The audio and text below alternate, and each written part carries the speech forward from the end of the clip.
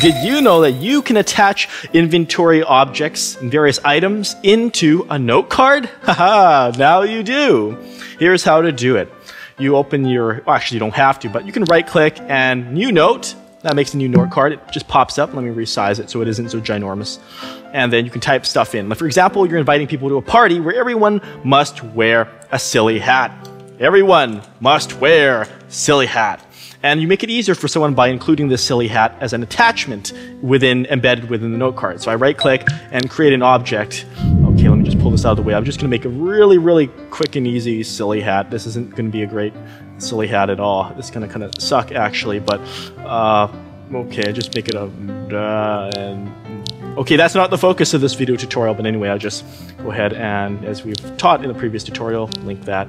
So I can General. Now, the most important thing is it must be fully permissive, copy and modify and be able to be transferable. That means that when I take it, I can give it to anyone. Of course, I created this. But if you're giving something that belongs, that was made by someone else, it must be, let me go to objects, here we go. I'll just call this silly hat.